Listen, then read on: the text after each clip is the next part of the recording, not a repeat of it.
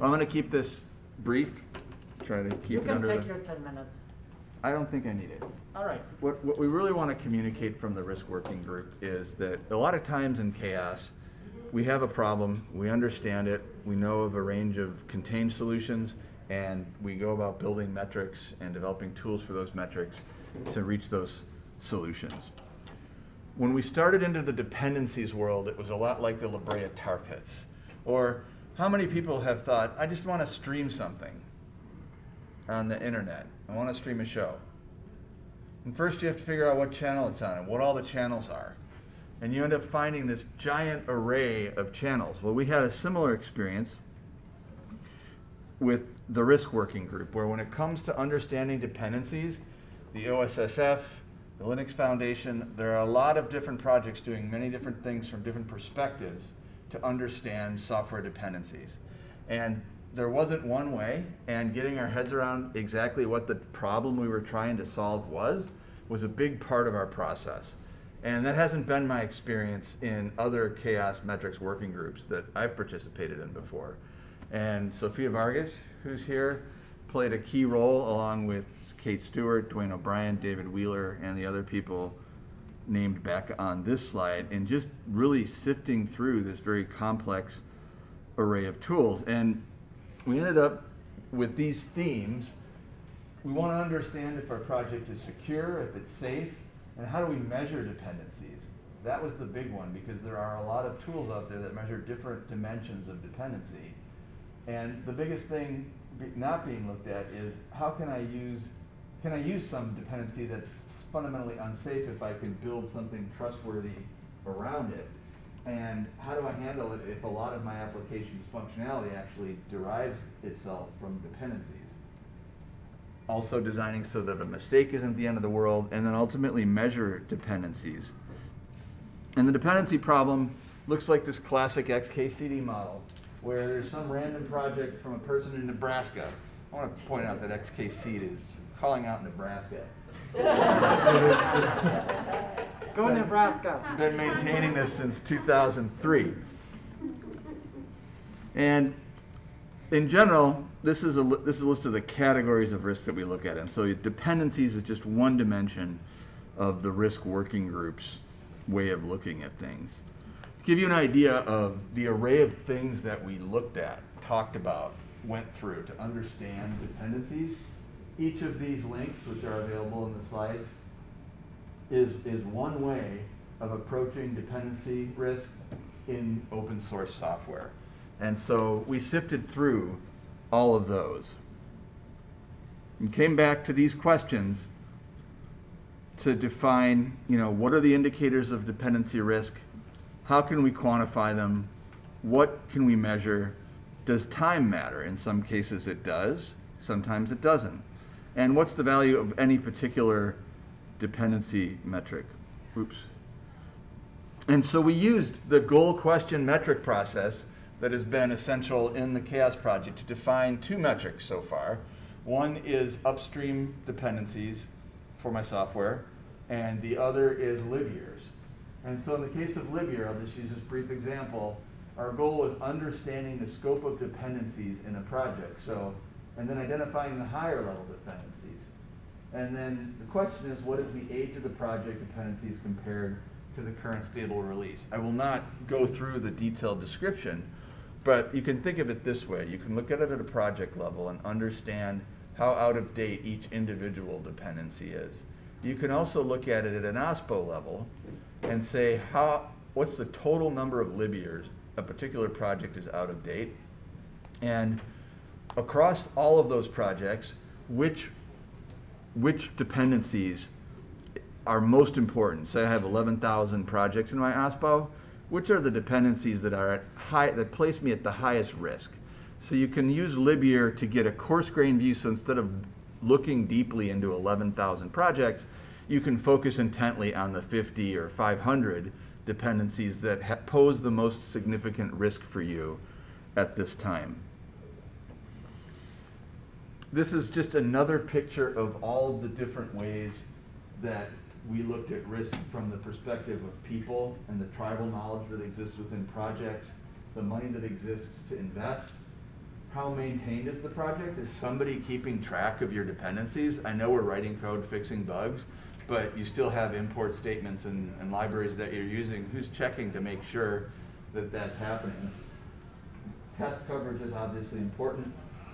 Uh, fit for purpose. So a medical device has a much more stringent set of controls on it, perhaps, than a website. And then, are there any export restrictions? Obviously, there- there's a list of countries we can't use dependencies from.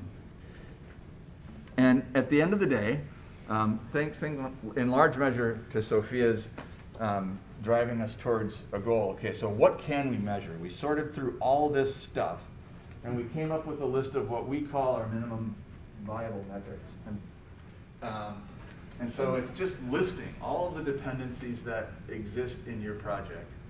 And we can use other CHAOSS metrics. When we identify the 50 oldest ones, perhaps, we can then use other CHAOSS metrics to assess the health and sustainability of those projects that we're dependent on.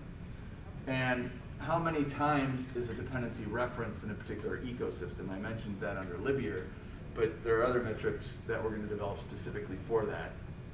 Libyear's, which is developed, vulnerabilities downstream. Uh, so are we causing other people problems by being out of date on something? Um, and we're al- also implementations of OSSF scorecard, and then a matrix of known vulnerabilities. So the, the piece that sort of intersects with security and dependencies is vulnerabilities database and known software vulnerabilities. And so that's sort of an orthogonal cross piece that we can, we can um, build a metric around. These are our questions. Thank you.